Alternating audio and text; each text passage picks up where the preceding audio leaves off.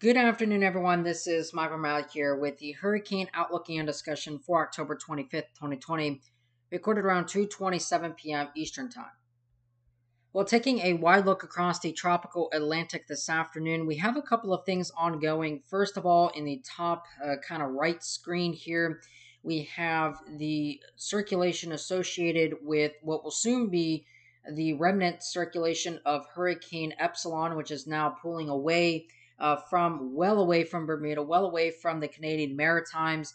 This is ongoing a transition to a very powerful extratropical cyclone across the North Atlantic and will affect Ireland and uh, portions of the United Kingdom uh, into early and mid next week.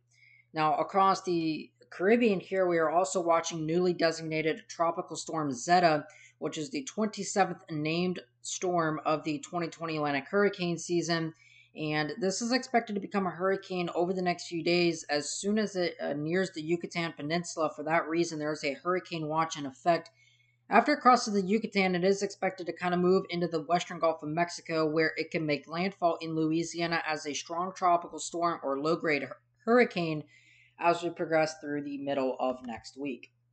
If we look here at a closed in visible satellite imagery here for Tropical Storm Zeta, we have a couple of very important things ongoing this afternoon. First of all, the storm is still relatively disorganized at this time. It is not very well organized at the moment. And one of the ways we can see that is the low level rotation seems to be maximized on the northern side of this big giant area of convection.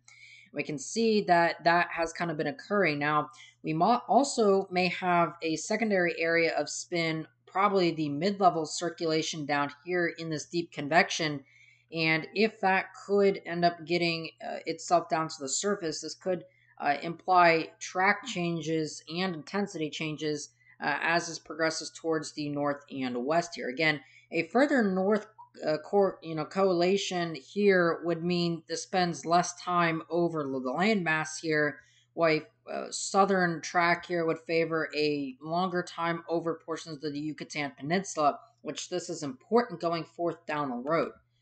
Now, again, this is going to take a little bit of time still to consolidate. It's going to take more than at least another 12 hours to try to consolidate and complete that transfer process from low pressure area to low pressure area. And the hurricane hunters are in there right now, and we'll get a better understanding of what they found uh, within the next couple of hours. Now, if we look at the GFS forecast, it's the 200 millibar wind flow in the upper levels of the atmosphere. And again, we see right now, again, this is valid as of 2 p.m. this afternoon, so about half an hour ago, a very large, uh, rather large anticyclonic flow across most of the Western Caribbean at the moment. You can see this large uh, anticyclonic flow across most of the Western Caribbean. And this is important because it is helping to ventilate the storm a little bit. However, there is a mid-level ridge that we cannot see here on this particular uh, map that is inducing a little bit of northerly shear which has helped to actually push some of this convection away from the center of circulation which is believed to be somewhere up in here. So this is believed to be where the center is. The thunderstorms is displaced from that by a little bit. It's not a very significant margin but it is enough to kind of keep this area broad and disorganized. Again, it's still a pretty elongated area of vorticity, so there could be multiple true centers in that area, and it's something that we're going to have to watch going forth with time here. Now, if we look here, uh, we progress forward with time. This is uh, the 12Z run here of the GFS. So this is 36 hours from now. This is by late tomorrow night, by 8 p.m. tomorrow evening, or 0Z zero Zulu time Tuesday, this would technically be Tuesday Zulu time, uh, we can start to see that the pattern is beginning to change a little bit. As what's starting to happen here is the anticyclonic flow becomes rather well established across the storm environment, and the storm has its own generated outflow pool, and it is becoming deeper in the atmosphere, passing pretty much over the western part or the very far northeastern part of the Yucatan Peninsula. And again, this is very important. Now you can see where the storm is right now compared to there. It kind of jumps northward, and from there, the storm just kind of trends on a northwesterly direction. Now, this is very important because if, again, a center reforms further towards the south, it is uh, slightly more involved with the land uh, mass here of the Yucatan Peninsula. And then once it comes out here, it's a weaker storm from that land interaction. And then once it gets into the Gulf of Mexico, it, it could try to change maybe a little bit more in the westerly direction. However, if models like the HWRF and GFS are correct, uh, this would tend to go on a further northerly direction. This starts to lift further towards the north. And then from there, once it enters the Gulf of Mexico, it's able to pivot uh, more easily uh, around the ridge here that's going to be building in, which we'll talk about here in a moment. Now, once this enters the Gulf of Mexico, this is the GFS forecast uh, by early Wednesday or very er- very late Tuesday into early Wednesday. And again, what you can see right now is the storm is still under this upper level anticyclone, but there's a couple of things that are changing now. First and foremost, we have this big trough that's digging in across the uh, United States right now, and basically the trough axis extends from about New Mexico and Arizona all the way through portions of the Northeast or up through the Midwest rather, and this jet axis is stretching all the way out towards the Northeast United States. It's causing a big jet maximum region. Well, out, out ahead of that in the right front exit region, uh, which is basically this area in through here, this is the right front exit region. You're getting a lot of strong southwesterly vertical wind shear out of this direction. And as the storm as the storm is starting to approach this environment, that shear is now starting to encroach on that storm environment. And what starts to happen is you can get a little bit more southwesterly vertical wind shear, which does start to happen here by early Wednesday. The storm is moving still towards the north northwest here before curving around, but before doing so, it's entering a pretty high shear environment uh, across this region. That's some pretty decent shear, and that would start to uh, tear the storm apart. And that's going to be one of the things that we're going to have to look for. And again, eventually this kind of scoots on, but it's dealing with a lot of that southwesterly vertical wind shear. And you can see this anticyclone becomes now displaced and it's only adding to that vertical shear. So what starts to happen is you get a storm that's now heavily sheared going into the Gulf Coast states. Now, this could be good, but it could also still leave a lot of impacts, especially from tornadoes. You know, flash flooding still a big concern, storm surge, etc. These are still very real concerns, and the danger is not over just because this might be weakening on approach. But if we jump this back here, if we look at previous runs here, the trough has actually been a little bit slower in previous runs. And again, you can kind of see that from the 6Z, uh, from the from the 6Z to the 12Z. So the shear is a little bit more backed off, and the storm is a little bit stronger on approach, and that's very important going forth with time. Now, if we look at the steering pattern in the mid levels of the atmosphere, this is the 500 millibar vorticity, or the basically you're looking at 18,400 feet in the atmosphere, and we're looking at the vorticity field. Now, a couple of uh, hours ago, or a couple of days ago, rather, we had the shortwave energy, as we were talking about yesterday. We had a shortwave uh, trough located over Alabama, and this was only in the mid levels, so this wasn't down necessarily at the, the higher altitudes or lower altitudes, but this was mid level. And this mid level energy has now scooted over into the southwestern Atlantic basin. We can see uh, running it all the way up to uh, now this has kind of this energy has nonetheless uh, coalesced out here in the southwestern Atlantic basin.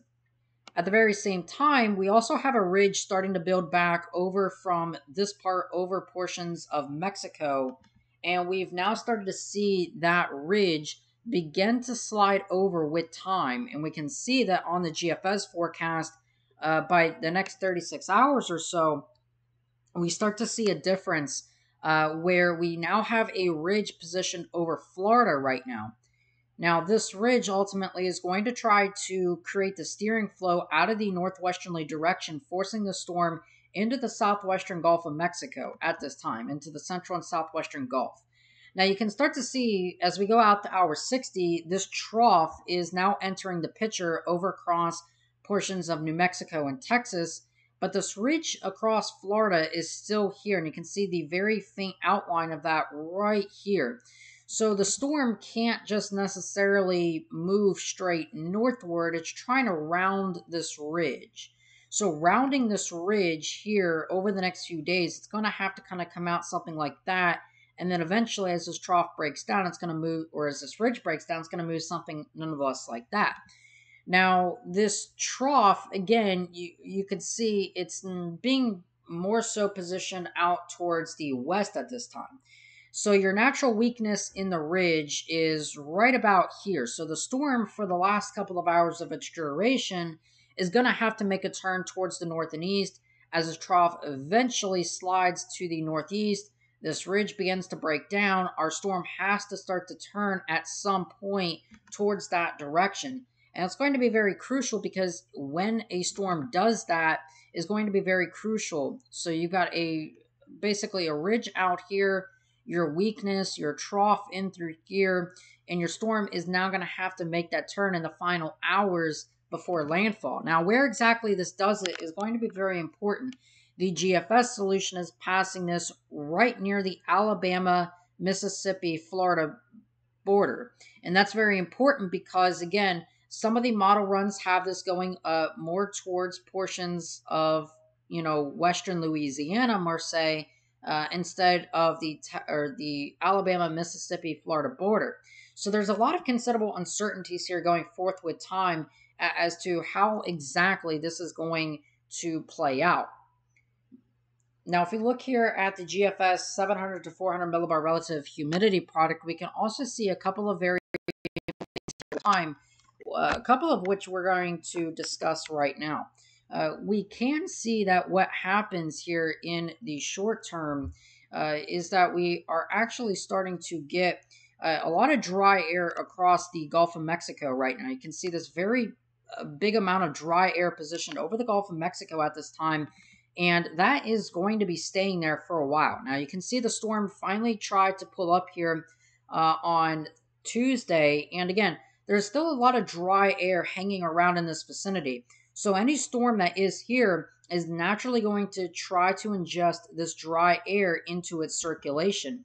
And we can start to see that happen in the final hours before landfall here uh, that the storm actually now is ingesting some of that dry air. You can see a lot less green here and a little bit more in the way of lighter green and uh, brown shades here entering the western side of the circulation. Now, what you can also see is we have a lot of green to the eastern side here, and this is suggesting that this is going to probably be a lopsided storm, mainly on the easterly direction. So even if this doesn't make landfall in the Florida Panhandle, you're still going to get a stream of moisture being pumped up here from the Caribbean and the Gulf. And again, these water temperatures are still very warm to support thunderstorms across this general area. So this is going to be one thing to watch as we go forth with time. And even again, if the storm does not make landfall there, this slug of moisture is going to be pumped in, and that could cause, in its own rate, a flooding concern over the next couple of days. Now, again, if we look at the HWRF sea surface temperature uh, profile here, we can see a couple of very important things here. Uh, that as we go forth with time and this enters the Gulf of Mexico again, water temperatures remain very warm, but there is a stable shallow layering through here. And if we look actually at the uh, upper ocean heat content map here, this is the upper ocean heat content for the Gulf of Mexico uh, generated as of yesterday. And you basically notice where there's a relative lack of upper ocean heat content. Now, uh, anywhere generally within this area has a pretty high amount of upper ocean heat content. So as the storm uh, eventually transverses through this area and then enters into the Gulf of Mexico, it is going to have a pretty favorable environment uh, upper ocean heat content wise for the first day or two. Uh, after that point, though, once it really uh, crosses about 25 degrees north, it is going to start to run into virtually zero upper ocean heat content through here and through the rest of its journey uh, as it starts to make that turn it's not going to uh, really have any significant upper ocean heat content to work with and that's going to be one of the factors that is likely to be weakening the storm.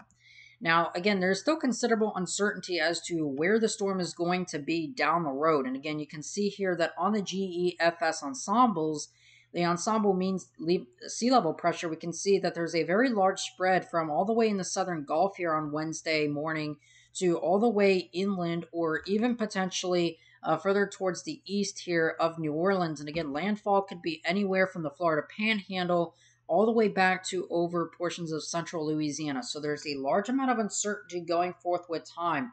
Now, the official Hurricane Center forecast again does have this a tropical storm for the next couple of days, becoming a hurricane uh, probably by the time it gets to the Yucatan Peninsula or just thereafter, becoming a hurricane on Tuesday. And then after that, remaining a hurricane through Wednesday and approaching the Louisiana coastline here, making landfall somewhere near New Orleans or near the Mississippi, Alabama, Florida line, and then coming inland and remaining a tropical uh, cyclone through Thursday uh, morning. So, again, a lot of uncertainty going forth with time. Florida is not out of the question, but mostly for South Florida and the Florida Peninsula, the only impacts seem to be maybe some heavy rain here uh, over the next several days. All right.